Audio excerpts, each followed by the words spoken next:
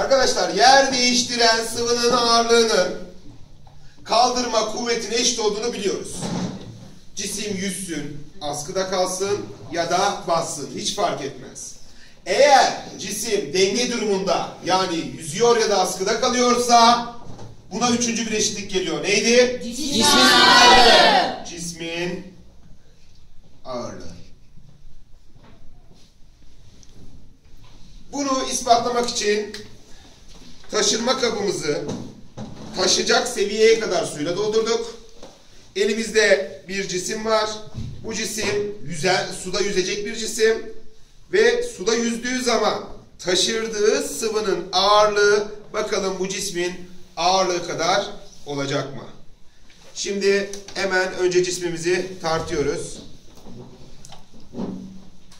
Hemen not ediyoruz. 128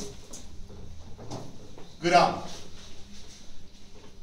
Hemen taşma seviyesindeki sıvımızı tartıyoruz.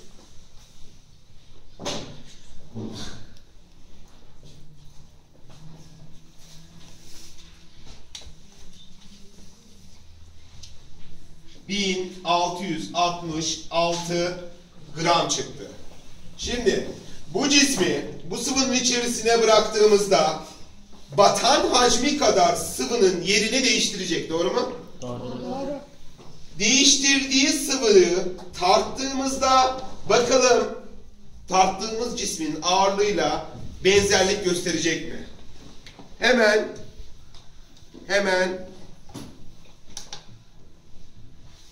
bardağımızı koyalım.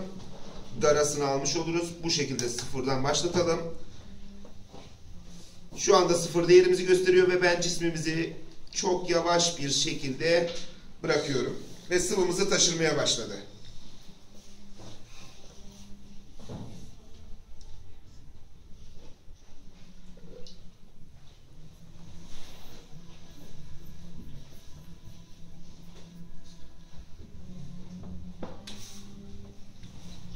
Sıvı akışı devam ettiği için değerimiz de artmaya devam ediyor.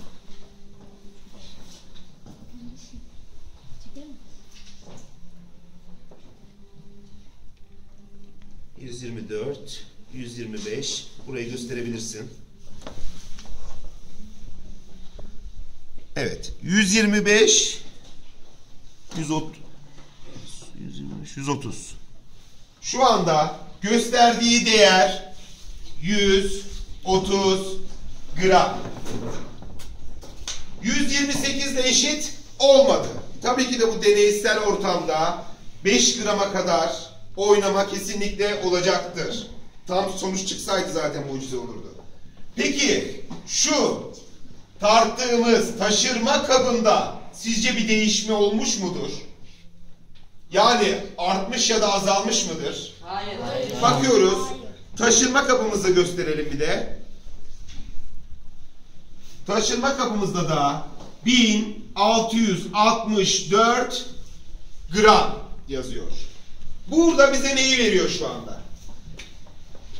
Sıvının ağırlığı cismin ağırlığına eşit çıkıyor. Aynı buradan söylediğimiz gibi. Yer değiştiren sıvının ağırlığı cismin ağırlığı kadardır.